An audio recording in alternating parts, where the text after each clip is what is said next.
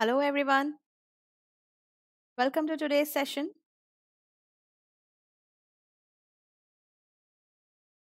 Am I audible, guys?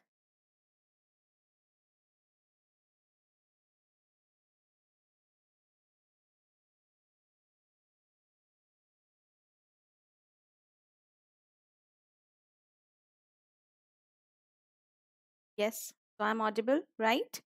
So I welcome you all to, to, to this wonderful channel called Let's Crack NEET UG in English. I'm Aditi Gupta, your biology mentor, and in today's class, we're going to discuss about you know various aspects of plant breeding and single cell protein. Okay, students. So today we'll be discussing the steps or the techniques involved in the process of plant breeding and the single cell protein. Okay, so before we start, let me introduce myself and tell you something really important about Unacademy. Okay, students? Then we'll be proceeding with the session.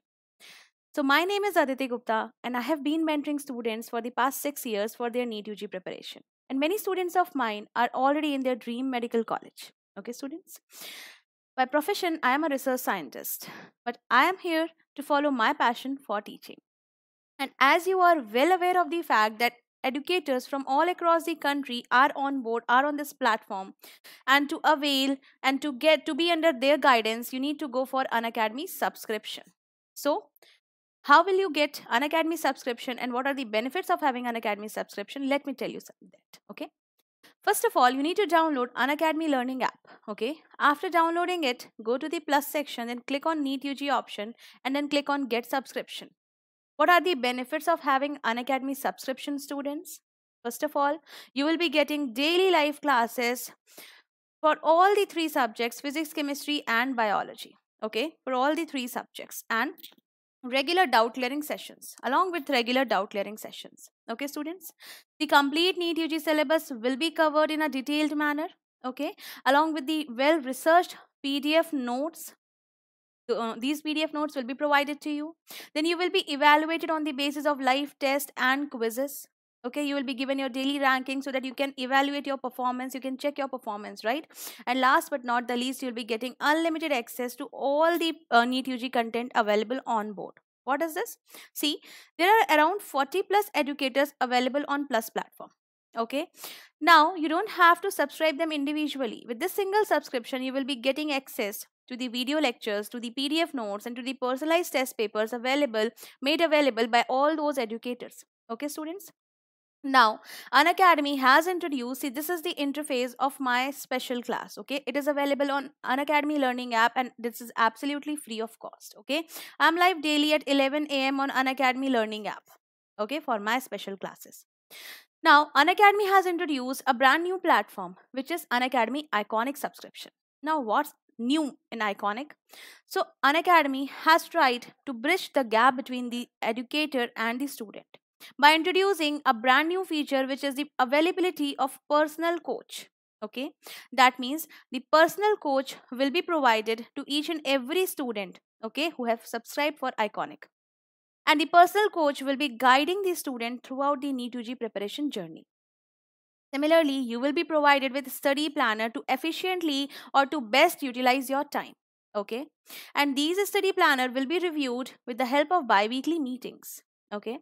Now, the most important feature which I personally like is the in-depth test analysis. You will be provided with all the uh, you know mistakes you have done. Okay, the in-depth test analysis so that you can go back rectify them and you will not repeat those mistakes again on NEET UG examination. Okay, students? And all the benefits of the Plus platform are included. You will be getting expert guidance session, experts motivations, expert motivation session, you know, in a timely manner, in, okay, in a regular sessions. So, how will you proceed for these subscriptions? If you wish to go for Unacademy Iconic, then if you are a 10 pass out student, then go for two year of subscription plan. And if you are a 12th studying or 12 pass out student, then go for one year of subscription plan okay? In case if you apply my referral code ag001 you will be getting an instant 10% discount on your course fee. That means for one year you have to pay rupees 40500 and for two year you have to pay rupees 54900 okay? So a 10% reduction on the amount has been applied and your final fee has reduced okay? And if you calculate it on a monthly basis see for one year you have to pay only rupees 3375 and for two year you have to pay only rupees 2288 so at this much cheap at this much uh, this much cheaper price you are getting top notch quality education. Okay students? Similarly for the plus platform for one year, you need to pay rupees 27,000 and for two year, you need to pay rupees 32,400 but only if you use my referral code AG001. Okay, then only you'll be getting this discount. And one more important announcement, Unacademy plus subscription fee is going to increase really soon. So do not wait to miss this chance. Okay, do not wait to miss this chance. Go buy your subscription as soon as possible.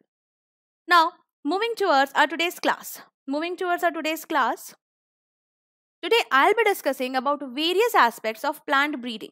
But first of all, why is this chapter or why is this topic important? First of all, we know that, you know, that 33% of our country's GDP depends upon the agriculture, right? And 62% of, you know, the employment is generated through, uh, you know, in the agricultural uh, domain itself, okay?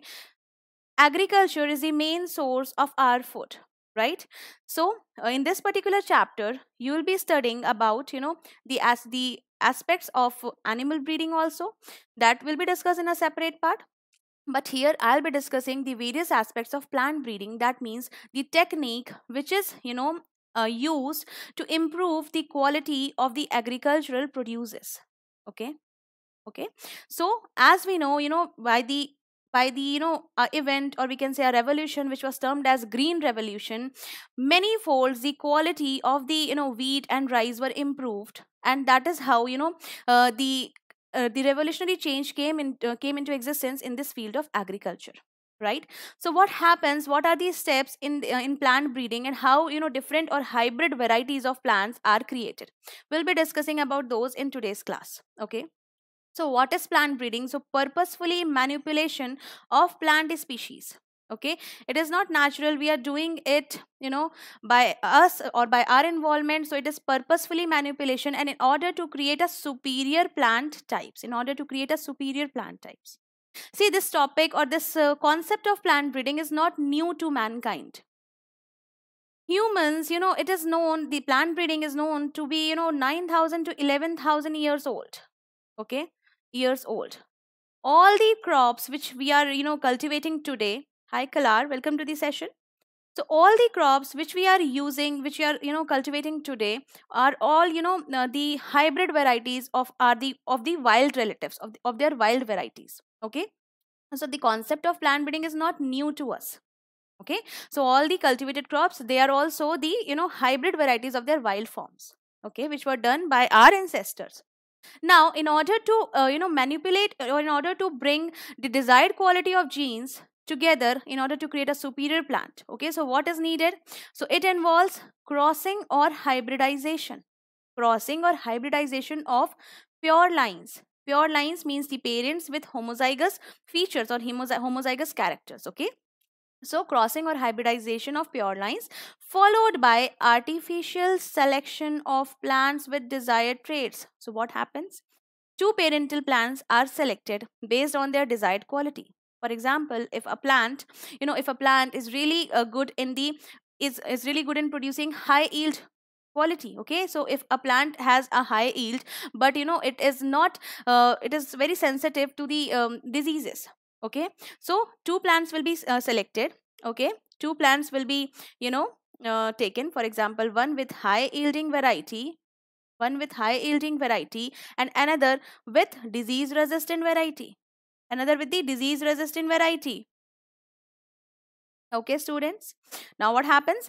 These two plants when crossed together okay by the process of crossing or hybridization the offspring which is generated here will be containing the quality the desired quality from both the parents okay. So this is the process which is termed as hybridization and then we will be selecting the offspring from um, among the various offspring produced okay? Uh, we'll be selecting the offspring with the desired quality okay? So this is how the plant breeding is done. Plant breeding is done by the process of hybridization or the crosses between the two parents and then selection. That means selecting the desired on uh, selecting the offspring with desired characters. Okay, student? Now, increased crop yield, increased crop yield and improved quality are the desired characters, definitely. Okay, when a crop yield is increased and a quality is there, so these are the desired characters which will be needed in this process of plant breeding. Now, what are these steps which are involved in this process? First of all, you know, the first step is the collection of variability. First of all, let me tell you something really clearly. We will be discussing about, you know, developing various varieties of plants. For example, insect resistant variety. For example, biofortified varieties. Okay. So all in all those uh, development, what happens? The basic steps uh, in plant breeding remains the same. In development of all those varieties, the basic step is the same step okay so what are the basic step first of all what happens the you know the parents are collected and which which we term as which is termed as collection of variability okay? That means you know the collection of all type of possible alleles all possible alleles. Alleles are variable form of genes. So alleles are what? Variable form of genes okay? So collection of all possible alleles in a part of a particular gene okay is done. And this particular process is known as the germ plasm collection this particular process is known as the germ plasm collection germ plasm collection. So you have a bank. You have a bank where you know all possible allelic combinations are there with you for a particular gene okay? Now what happens for a particular plant? Then what happens? This you know these uh, variations are evaluated. We have various variations we have various combinations available. Now they are evaluated and selected to be used as parents they are evaluated and selected to be used as parents okay? That means a parent is selected okay? A male parent and a female parent with a desired characteristic. As i have told you for example a female parent has uh, one parent has you know uh, a high yielding variety and a second parent has a disease resistant variety. So both the parents are selected okay? Then what happens? The process of crossing or hybridization is taking place. So cross hybridization among the selected parents happens okay? Now the process of crossing is a you know time taking process because what happens? Pollen grains pollen grains from the selected male plant is uh, collected and it is now uh, spread on the stigma of the selected female plant okay? And then it is allowed to you know uh, the process of fertilization to take place and the development of uh, zygote and embryo okay? So sometimes what happens? The emasculation and bagging technique is also used in plant breeding emasculation and bagging technique okay it is also termed as artificial hybridization. So what happens in artificial hybridization? Emasculation. One second. Artificial hybridization, what happens? Emasculation and bagging technique is used. What happens in emasculation? In a bisexual flower, first of all, the pollen, uh, the stamen is removed and the stigma is covered with a polybag and then the desired pollen and the desired pollen is spread on the stigma and again it is covered with a polybag okay to prevent uh, further cross contamination okay. Now what happens? The selection and testing of the superior recombinants are is done. So it is a really time consuming process because you never know that you know the offspring will def you'll never this is not confirmed that the offspring will be containing the desired characteristics from both the parents okay? You know one in you know few hundreds or thousands of springs contain the desired recombination. And you have to select that particular uh, offspring that particular um, hybrid from a variety of uh, you know offsprings okay? So this is a cumbersome process. So selection first of all the hybrid is selected then its testing is done then its testing is done okay? What happened? The next step is testing release and commercialization of new cultivars so how is this process of testing and release done? So first of all, the hybrid which is selected is, you know, grown in a research field. First of all, the hybrid which is collected is grown in a research field. Okay, and the data is collected and the data is collected all the conditions for example the water management or the all the other conditions of crop management is kept ideal okay? And then the data is collected how is this crop behaving in the research field? Followed by the research field then the crop is released on the farmer's field. Then the crop is released on the farmer's field and then what happens? The data is collected for three at least three growing seasons. The data is collected for at least three growing seasons and that too in different agroclimatic uh, climatic zones okay where that particular crop is possibly you know possibly uh, will, will be possibly grown okay? So in three in different agroclimatic zones and in three different and three growing seasons the data is collected in the farmer field also. And then the data collected from this hybrid is you know is uh, compared with the best available local variety with the best available local cultivar or the local variety this uh, data of the hybrid is compared whether this hybrid is superior to that local available variety or not and if yes then it is made available for commercialization okay and this is how the commercialization of the new cultivars are done so these are the various steps involved in the process of plant breeding First of all, the germ plasm collection is done. Then the parents are selected. You know, the parents are the superior qualities parents are selected. Then the crossbreeding or the hybridization process has been is, is done between them okay? Uh, as a result of which the various offsprings will be produced. Then you have to identify the you know offspring with the desired characteristics that is the superior recombinant and then you will be testing the recombinant for uh, its you know various uh, growth parameters. So you'll be testing it first in the research field then in the farmer field and the data should contain the data from three growing seasons and that too in different agroclimatic zone where it is possibly uh, will be where it will, it will be possibly grown okay now moving ahead see we have improved the variety you know we have uh, various improved variety of wheat rice and various other grains with the help of these plant breeding for example, the production of wheat, you know, it increased from 11 million tons. 11 million tons was in 1960 to 75 million tons in 2000. Okay. And as I've already told you that Norman Borlaug, with the help of this gentleman, with the help of Norman Borlaug, you know, green revolution came into existence and what happened, various improved varieties of crop plants were introduced. Okay. Mainly wheat and rice. So father of Green Revolution is Norman Borlaug. Father of Indian Green Revolution is M.S. Swaminathan. M.S. Swaminathan. Okay. So Norman Borlaug, he developed some semi-dwarf varieties of wheat at International Center for Wheat and Maize Improvement in Mexico. And these semi-dwarf varieties Sonalika and Kalyan Sona were introduced to India in various wheat growing belts at around 1963. At around 1963, and which increased the production of wheat, you know, in a surplus way. Okay, so these two varieties were were high yielding as well as disease resistant. Okay, so they were introduced in all the wheat growing uh, belt of India around at around 1963. Similarly, for rice also. The rice production increased from 35 million tons in 1960 to 89.5 million tons in 2000. The semi-dwarf varieties of rice were also produced that were IR, IR8 okay in the international rice research institute philippines. And taichung native and it is derived from taiwan. Okay then after that you know these uh, semi-dwarf varieties were introduced at around 1966 they were introduced at around 1966 after that no later on jaya and ratna better yielding semi-dwarf varieties of uh, rice were developed at india itself. Okay so jaya and ratna are again the better yielding varieties of rice which was developed at india itself. Okay? Similarly you know sugarcane see saccharum barberi it is grown it is found you know in north india. Okay?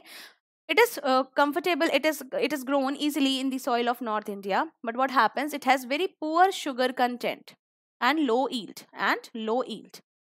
On the other hand the uh, saccharum officinarum which is grown you know in the tropical forest in the south india okay it has thicker stem and high sugar content so what happened with the help of this plant breeding technique, with the help of hybridization and selection, these two varieties of sugarcane were crossed. And the offspring of desirable quality was introduced or produced. And that desirable quality was thicker stem, thicker stem with high sugar content, okay, and high yield, high yield and growing on the soils of North India as well. So this uh, hybrid was grown successfully on North India and this is how a superior quality of sugarcane was produced. Similarly, millets. Millets includes maize, bajra and jawar. Okay. Maize, bajra and jawar and you know the high yielding and resistant what to water stress variety of these maize bajra and jawar were also developed in india okay students. So as i have told you that you know various varieties of wheat for example the sonalika the kalyan sona and now there are multiple other varieties as well. Okay? So rice for example ir8 taichung native jaya ratna okay? Then sugarcane millets were produced were developed with the help of this plant breeding technique. And what are the steps which are involved in plant breeding? First of all the germ plasm collection that means all the available forms or all the wild forms you know uh, and their relative species are collected together okay? All the entire genetic combinations is collected together all the possible allelic combinations. Then what happens? The parents are selected based on the desired quality. Then the third step is hybridization or crossing and then the fourth step is selection. That means you have to identify the uh, hybrid which has the desirable trait okay and then the testing testing of the hybrid okay? So moving ahead. Plant breeding can be you know uh, can be done for variety of purposes. Sometimes to increase the yield sometime to be you know to produce disease resistant varieties sometime to produce insect resistant varieties. So plant breeding can be done for a variety of purposes. If the plant breeding is being done for you know disease resistance uh, purpose so what happens? First of all the idea of various types of disease and the causative agent should always be there the idea for various types of disease which is being caused to a particular crop. For example if we are discussing wheat then we must know that wheat you know what are the various pathogens which are causing disease to this wheat okay? The idea for example if the wheat is getting affected with the bacteria or the virus or the fungus okay we must have this background information okay? Then what happens? You know the disease resistance varieties can be developed in two ways First is the conventional breeding method, which involves the hybridization and the selection process. That means two parents of superior quality are, you know, crossed and the hybrid is then selected.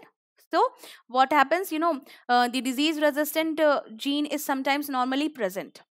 Okay, so a high yielding variety is crossed with a disease resistant variety and this is how, you know, a conventional breeding method is uh, proceeded. Okay, example, Himgiri wheat it is developed, you know, with the help of this conventional breeding method and it is resistant to leaf and stripe rust. Okay, leaf and stripe rust which is caused by Puccinia. Okay. Now, Pusa swarnim of brassica. Pusa swarnim variety of brassica, it is resistant to white rust which is caused by albugo. Okay. Then Pusa sadabahar chili. It is resistant to chili mosaic virus, tobacco mosaic virus and leaf curl disease. Okay. Similarly, Parbhani Kranti. Parbhani Kranti is a variety, improved variety of okra or bhindi. So what happens, you know, the Abelmoschus esculentus. It has, it is, uh, you know, uh, it is, it has a resistant gene for a virus which is yellow mosaic virus. So Parbhani Kranti is, uh, is you know, produced by the process of hybridization and selection. Okay, using this particular, this particular species of bhindi okay? So this is these are the certain examples of disease resistant plants obtained by the help of plant breeding. Now another method is the mutation breeding. The second method is mutation breeding. So what happens? You know genetic what is mutation first of all? So introduction of genetic variations. Introdu introduction of genetic variations okay? So that means the genetic uh, the gene uh, sequence will be changed. Change in the nitrogen base pairs okay so what happens? Because of these change you know the different product will be produced. So mutation breeding is genetic variations are created resulting in the formation of new characters. And yes these mutations can be induced artificially with the help of certain you know mutation producing agents and that uh, mutation producing agents are termed as mutagens. So mutation producing agents are termed as mutagens and these mutagens can be either chemicals or gamma radiations. With the help of certain chemicals and gamma radiations the mutations are created and you know uh, due to which certain changes are introduced. And you know then the hybrid is obtained. Example in moong so what happens in moong yellow resistant to yellow mosaic virus and powdery mildew is obtained is obtained with the help of mutation. Is obtained with the help of mutation. Okay? Now Similarly, the application of plant breeding technique for insect resistant plants. How is the uh, you know plant developed which has resistant to certain insects? So first of all, you know all these uh, uh, development methods will be involving those five major principles which i have told you. Those five basic steps involved in the plant breeding process. First of all the germplasm collection then the evaluation and selection of the parents then hybridization then selection of the hybrid then testing of the hybrid and its commercialization okay? So what happens for insect resistant plant? First of all you know insect resistance in host crop plants can be present naturally and it can be due to any uh, reasons. For example there can be certain morphological development in the plant body due to which the insect is not able to you know infest the crop Similarly, the secretion of certain, uh, the involvement of certain biochemical pathways due to which certain secretions is produced or certain physiological characters, biochemical or physiological characters, okay? So the insect resistant can be present due to morphological or biochemical or physiological characters. Example, wheat. Wheat is resistant to leaf beetle because it has hairy leaves. It has hairy leaves. So this represent morphological, uh, you know, uh, resistance. Similarly, maize is resistant to stem borer insects because maize has low nitrogen content, low sugar content and high aspartic acid content and due to which, you know, this comes in biochemical, biochemical resistance. Because of these conditions, what happened? The stem borer is not infesting the maize crop. Similarly, cotton. It is resistant to bollworm because cotton is not producing the nectar. Okay. So what happens? It is again the biochemical or the physiological characteristic okay so these are the uh, examples of the resistance which is found in the crop plants now what happened? The source of resistant gene may be cultivated uh, maybe from the cultivated varieties or from the germplasm collection because we have to collect the uh, resistant variety right? So, so, the resistant variety can be through the cultivated varieties which we are normally collecting or through the germplasm collection. That means the collection which contains um, the genes or the possible allelic combination from the wild varieties or their or their relatives right? Now, the resistant variety is developed by the process of hybridization and selection. That means, first of all, the parents will be selected, then hybridization and the process of selection is done. Okay. C. The resistant variety developed, for example, Pusa Gaurav brassica. It is resistant to aphids. Okay. Pusa Sem 2 and Pusa Sem 3 okay these are the varieties for flat beans and these are resistant to aphids and fruit borers Pusa Sawani, Pusa A4 okra, varieties for okra, bhindi. It is resistant to shoot and fruit borer. Okay, so this is how by the technique of hybridization and selection, the insect resistant plants are produced. Okay, students. Now, the plant breeding can also be used or utilized for improved food quality okay so what happens how can you improve the food quality see there is you know uh, there are various uh, living uh, human beings there are various human beings who are you know not able to fulfill their basic requirement their basic nutritional requirement. There are around 3 million people 3 million people which are on you know silence hunger silent hunger. That means the basic the basic nutritional requirement is not fulfilled in their body. The basic nutritional requirement is not fulfilled in their body okay? They uh, they cannot afford to buy fruits and you know various nutritional uh, crops on a day to day basis okay? So what happens you know with the help of plant breeding uh, the crops can be uh, you know fortified or can, can be increased with higher levels of vitamins micronutrients or minerals okay? So this is the process of biofortification which is done to improve the quality of the food product okay? So breeding of crops with higher levels of vitamins minerals or higher proteins and healthier fats. Because what happens? The deficiency of these vitamins these minerals these micronutrients for example deficiency of iron or zinc it leads to what? It leads to various disorders disease conditions right? Reduce mental development reduce physical development and in, order to overcome all those things what happens? The food quality is is you know is fortified by you know these various things. See what are the objectives of improving the food quality? The protein content and quality should be increased.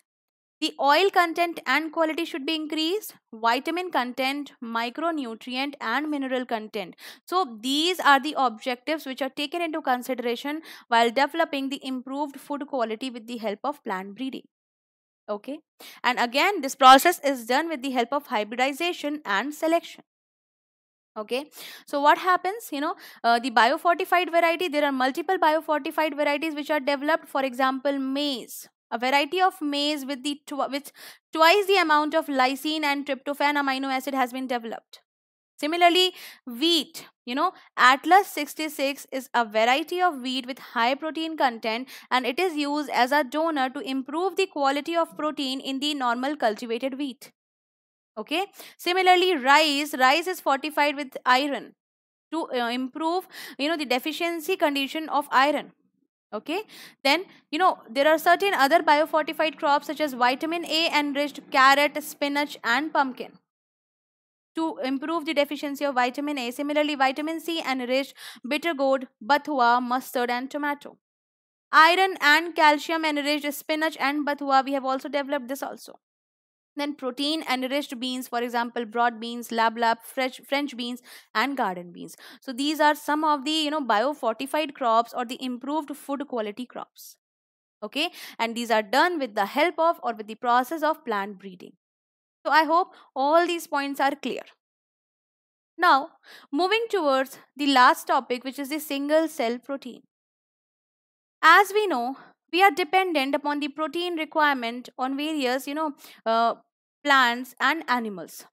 Okay, on various plants and animals. We have to invest around 3 to 4 kgs of biomass to produce 1 kgs of the protein from animal source.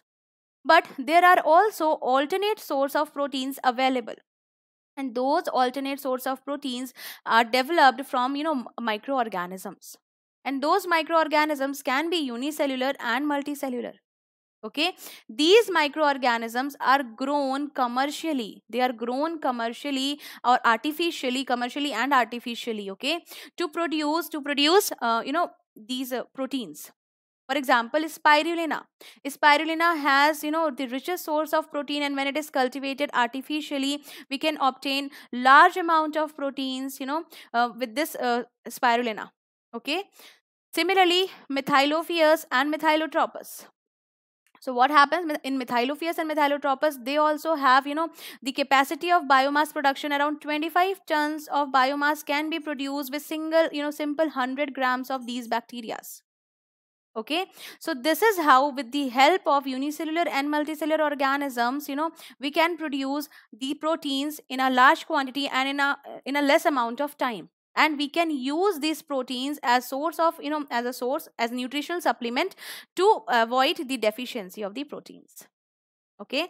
So this is single cell protein which is obtained from unicellular and multicellular organisms. Okay student? So this was about the plant breeding technique. It is quite a simple portion okay and single cell protein. Now you are left only with the tissue culture part which i'll be taking again in any of the supplementary classes right? Now go through your ncert read each and every line okay and you know relate all the things which i have taught you today in today's class.